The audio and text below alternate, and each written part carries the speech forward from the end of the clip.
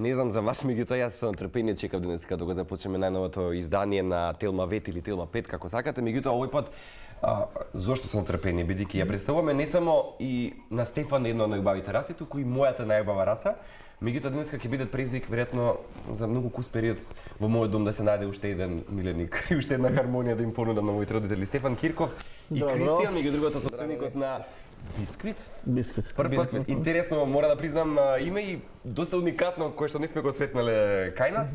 Драго ми е што ќе ја представиме овој пат на големо задоволство на гледачите расата Бигл и ќе ќе ми кажеш сега која е интересната приказна поврзана со Кристијан.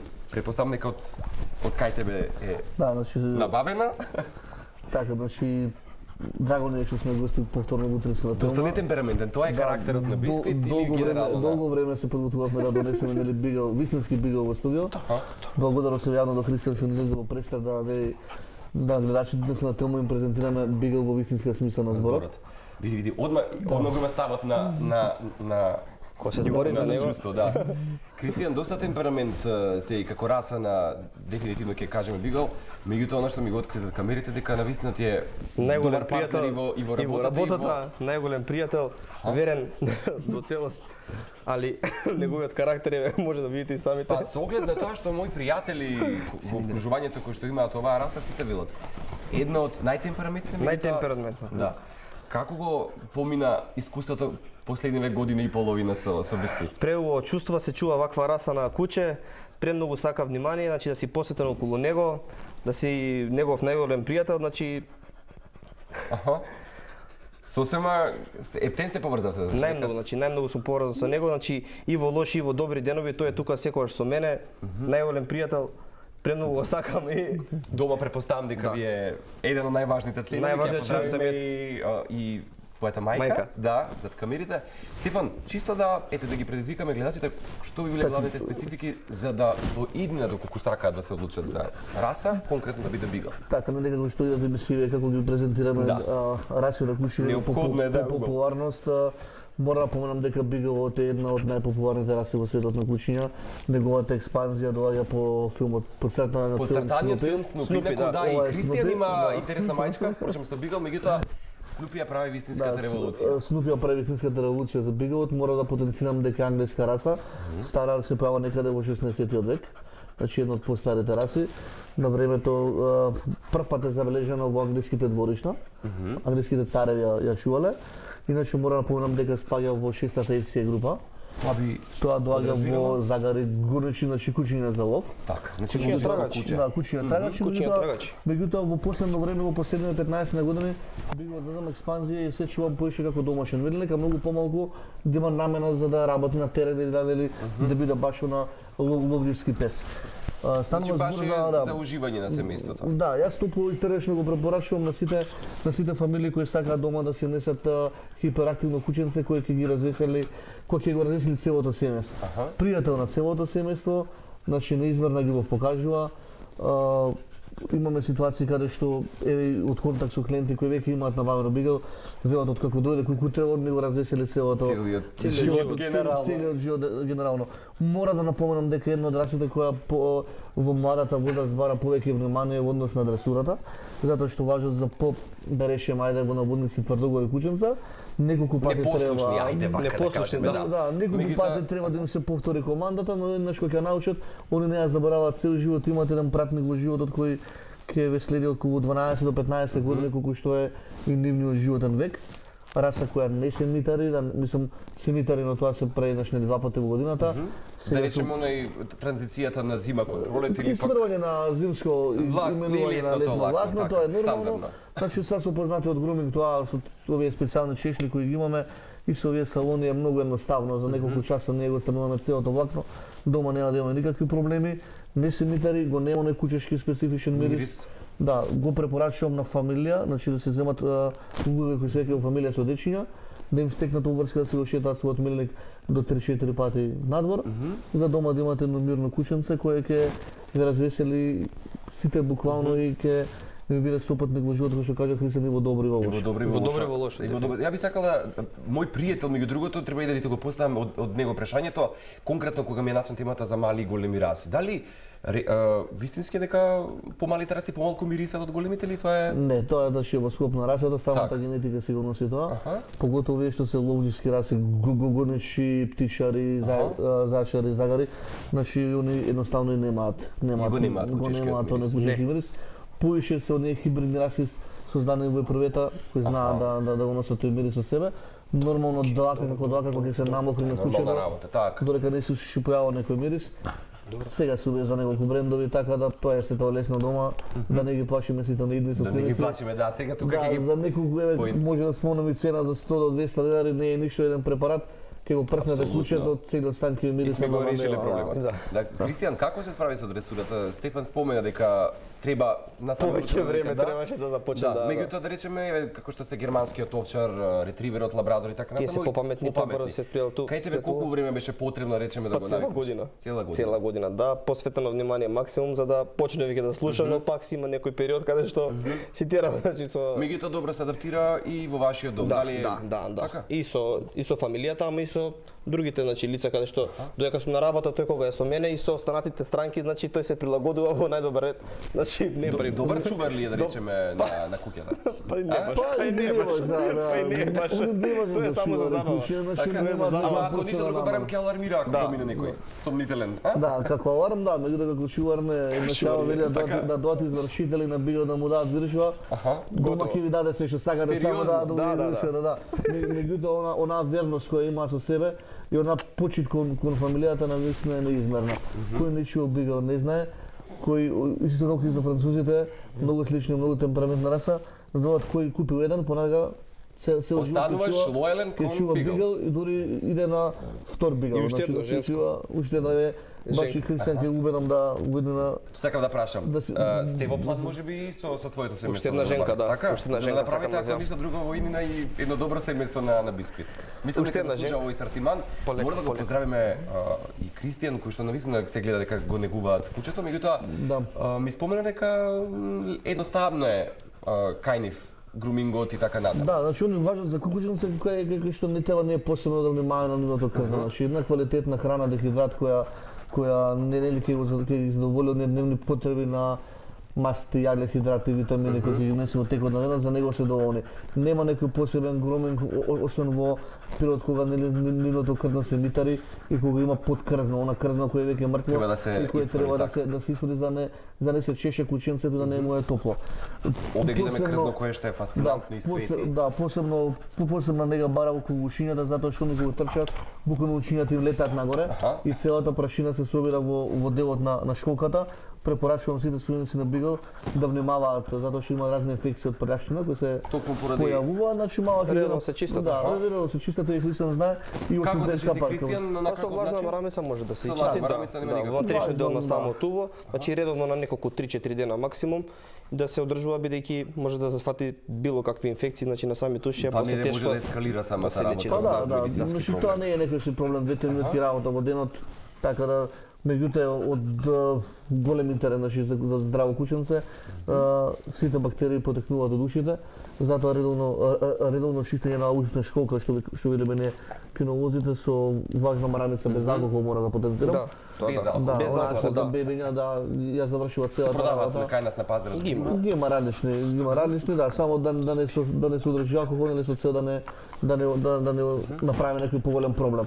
Иначе расата е расата доживува експанзија што кажавме под цртаниот снупи. Потцртано Горцум, да, така горцум во Македонија затоа што постоењето на Купи Миленик, а тоа е веќе да речеме тераме девета година. Откако купи Миленик Откако Купи Миленик е активен на, на интернет јас како се занимавам со набавка на кучиња, можам да кажам дека сум горд увозник на повеќе од 20 на 30 примероци Од од раса од. Бигл и посебно ме прави горд што сите се заврши неке фамилии кои правилно и вистински ги ги чуваат. Чува. Тоа може да се погледне и од, од Да, тоа го семејството на... дискутиравме нели зад камерите, Да. горд сум кога ќе видам фамилија како нели Христијан кој не е само за на Facebook, него на Не е само за слика. Не е само за да се фотографираме и да, Да. шармираме нели, Кучи имам, партнерки, да. така е. Не, не. Постои таа љубов која нели се гледа уште од- која се гледа веднаш. Веднаш.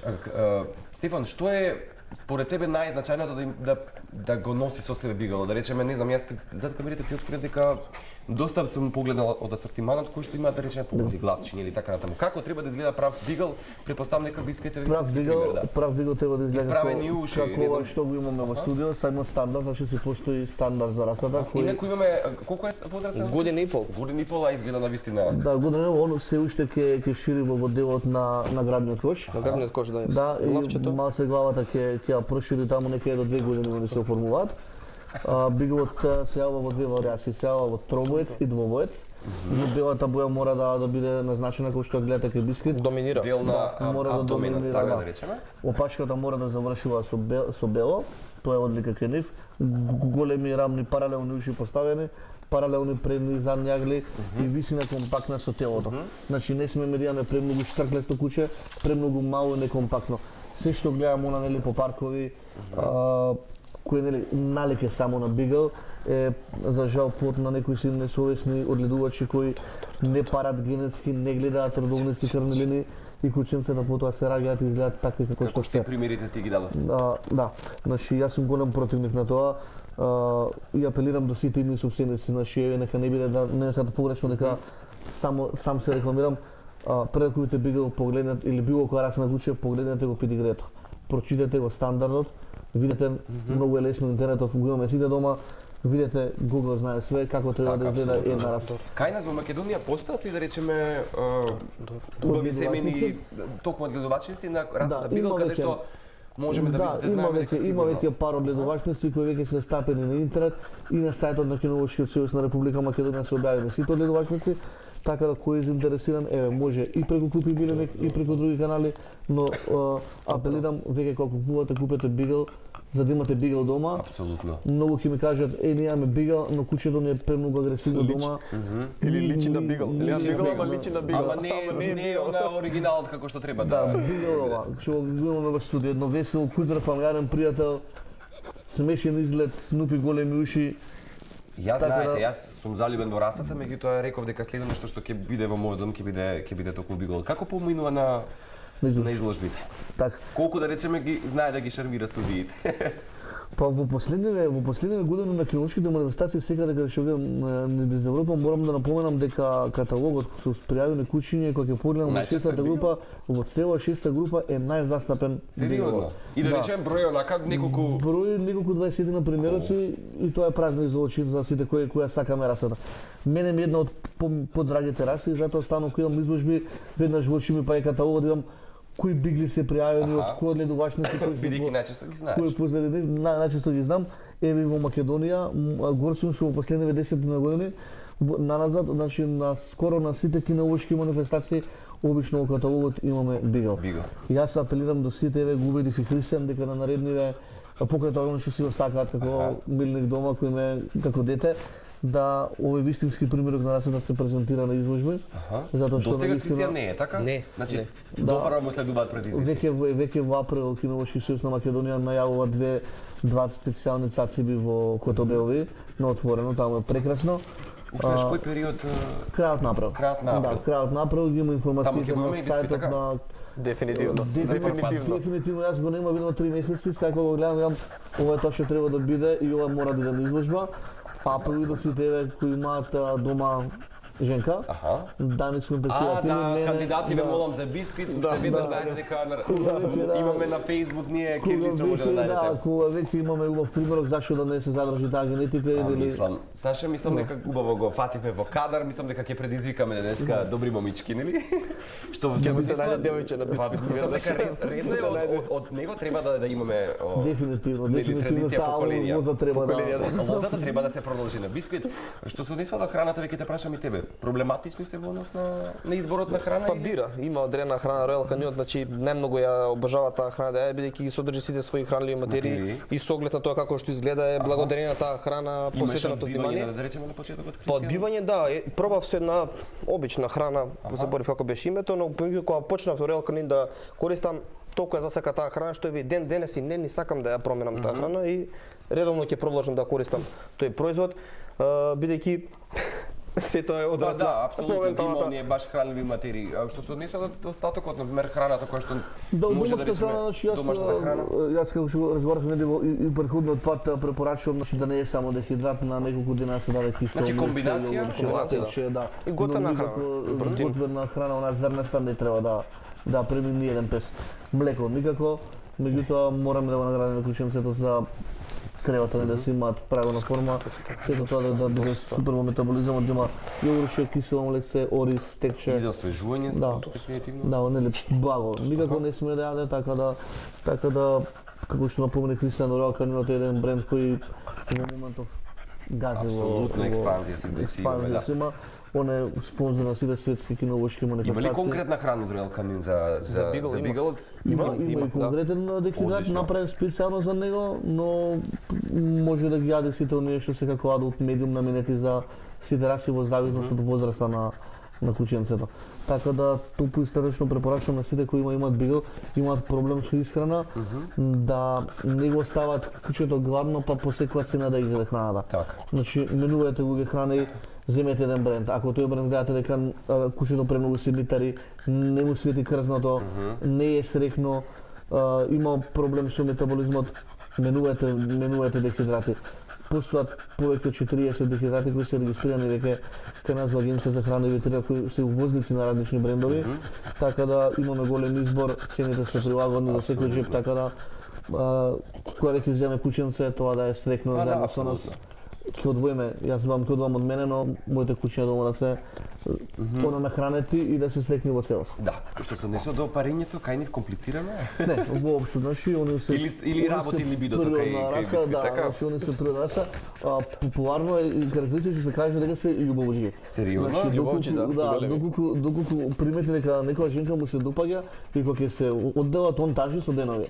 Знае да Има завива, искуство да. година, така што беше и тешко да се да се помине. Знае да завива, знае да пушти Така. суза и тоа е сето интересно. Сериозно? Мислам за него не е интересно, но нас не е Ама интересно. нам како не го интересно. гледаме, да. Ама Така знаеме да- да речеме во случај дека им се крши Да, срцето. парењето, парењето е по природен пат. А, мајката е прекрасна мајка, ги одледува малите до некој си 75 дена возраст, додека нели ги прекине со, со доење. Потоа, по, потоа, значи, во текот на, на самата бременост не треба ништо карактеристично се помине. Не треба не, не е неопходна помош е медицинска да речеме кога се медицинска случува не и човечки фактор. Пуштете се да поради. женката сама, она сама ќе се ги ќе се ги кученцата сама ќе се ги огледа, сама се ги чисти, сама се ги храни. Буквално до 75 дена вие собира се позади. Така Да. да. а, затоа велам нека не ги плаши сите идни собственици на оваа темпераментност. Ова е затоа што са Ова денеска е затоа што имаме да. камери, тука има доста публика која што Една поубава прошетка и бигалот ќе се ги потроши батериите и ќе не биде помирен дома каде каде. Да, ќе се согласи и Христијан, препознавам, меѓутоа, сега дека што прочитав на интернет, доколку сакаат да го изненадат своето најмало чедо во фамилијата или еден најсодетен пример на раса за најма- најмаличките деца токму Бигал го посочуваат. Да. Меѓутоа, некогаш знаеа како аномалија да речеме на самата раса да биде некогаш агресивен или не? Тоа ако го испуштиме кученцето, јас ќе кажем еден податок од еден универзитет во Америка, а, Хилтон а, е ветеринарен факултет и универзитет. А, јака институција, вели, јака институција кај што работи работи има и предмети од областа на кинологија и испитување подеднакво на сите раси.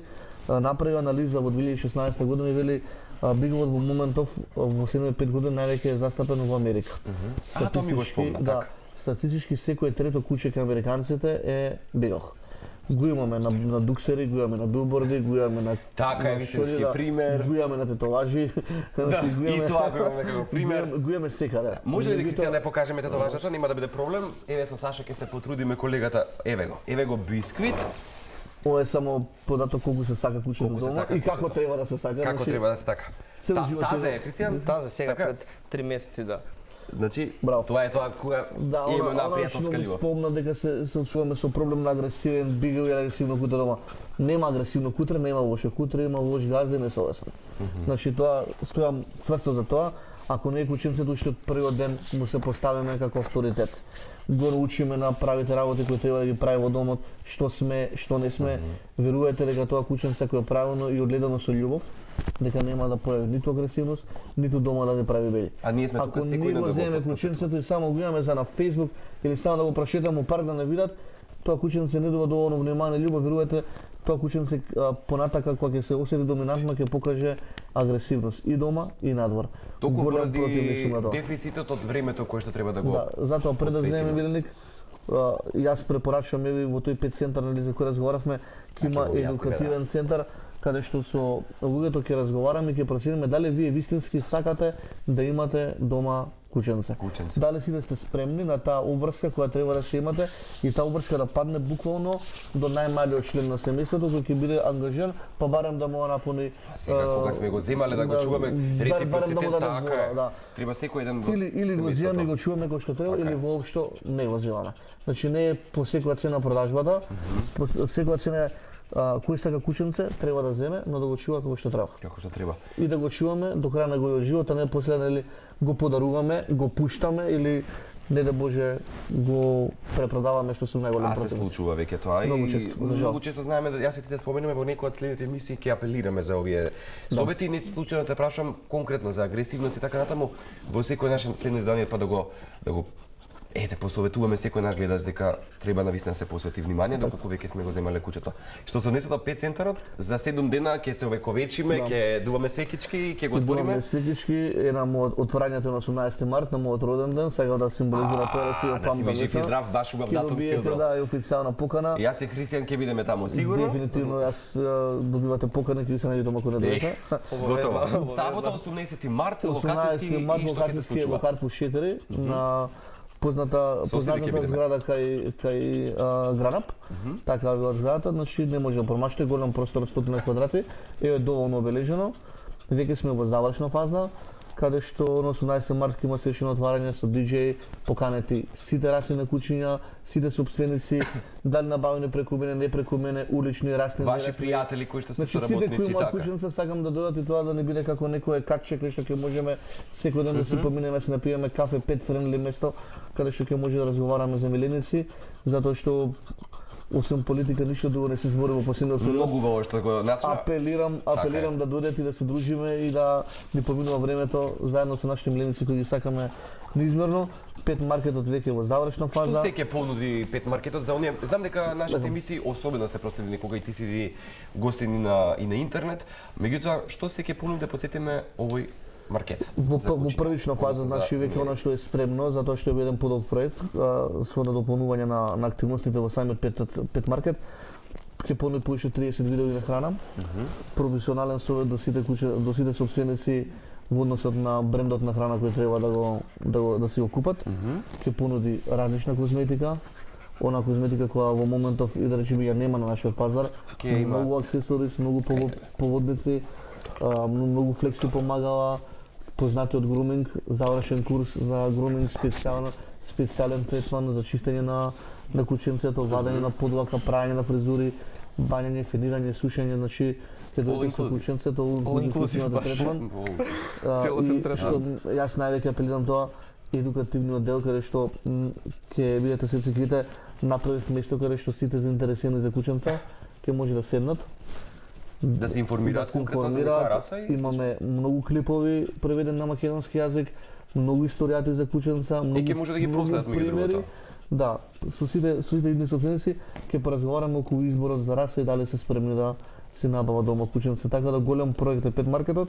Пак ќе напоменам ќе се надоградува и со активности и со во втор план се и кученца кои ќе можете директно да си ги набавите преку кои ќе си ги видите, ќе бидат физички нели кој што таму физички ќе си ги погледнеме и доколку Па одлучиме. јас планирам во топ 10 раси 10 кученца во секое време да има. Така да тие ќе се ги носам дома. Алабајто ќе бидат вработени. Значи, ќе бидат врабо- а, ќе бидат таму како вработени, асистенти? Асистенти ќе се грижат за јавниот. Се А, така. Се шо, значи тие ќе бидат циркус. Е, за сите дедечиња да нели може да се поиграат и со да се анимираат француски булози и со алабај и со бигл. Значи ќе има кученца, ќе биде весело, така да едва чекам да се отвори. Уште еднаш подсетуваме 18 март во Карпуш 4. Дефинитивно мислам дека ќе биде еден убав ден. Со тоа што следното веројатно гостување ќе го направиме веднаш по по самиот самото отворање за да прикажеме на гледачите како помине сето тоа. Меѓутоа ми спомена дека и аквариум и риби ќе имаат асорти- асортимент кој што ќе може да го погледат. А, Во делот на акваристика, во делот на акваристика, наша акваристиката ќе биде забележена во пет маркетот, значи ќе имаме аксесорис потребни а, сите потребни механизми за еден аквариум за стартување пумпа, филтер, нели песоци во разни бои, камења, украси, ќе има експонат голем аквариум, благодарност на, компанија Деспот Оаза, која за прв пат во Македонија се јава како увозник на аквариуми, некако што било порано да вие да бидете роб на аквариумот, па секој ден да го чистите било што, механички, механички аквариуми со систем внатре, вие само си го полните, самиот аквариум си има механизам, на три месеци само треба да го дополниме со вода и да го чистиме филтерот, а долу имате една приказка која верувајте од искуство ви кажувам нема ако го направиме нели тоа ако го составиме внатре убаво, со убави рибки да има сама приказна внатре со растенија, Така. песок, светли Баш риби, композиција да. убава да биде цел. Нема да целосно. палите дома телевизор, да телевизија, него после работа 30 минути гледате во аквариум и вие сте одморани. И мала хибернација Да. со уживање на на рибите. Да, во што пет маркетот веќе а, Ќе може да се набават меѓу другото во Јовоидина? Да, ќе може преку пет маркетот да се набават тие аквариуми, ќе има каталогче.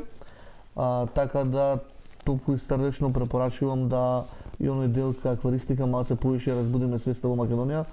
Ти ми препорача дека ќе имаме може во следните емисии некој ком, да, компетентен компетентен човек кој човек кој што ќе говори. Јас сега навлегувам како аматер, а, и како љубител на акваристиката, но ќе ви донесам човек кој ќе баш онака ќе може да ви добави приказката и Тоа познавајќи е те, посебна познавајќи те тебе, верувам дека ќе посекаш аквариум. Дефинитивно. Па јас реков дека во подоследните фази од мојот живот дефинитивно ќе го посветам најмногу за за Кој ги животните. сака животните, ги сака и луѓето, така да Така е.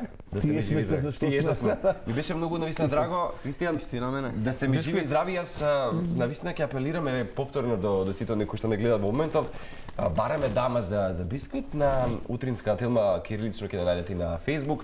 Меѓутоа Кристијан претпоставам дека и на твој профил ќе може да се мој Facebook огласат доста доста луѓе, така што бисквит мислам дека треба да ја продолжи луѓето. Благодарност, се гледаме и се дружиме во текот на летото, мислам дека треба да да направиме такви едни интересни. Дефинитивно. Да. Се гледаме во следното на наше издание, па до тогаш ќе го понудиме. поздрав на сите гледачи. Поздрав.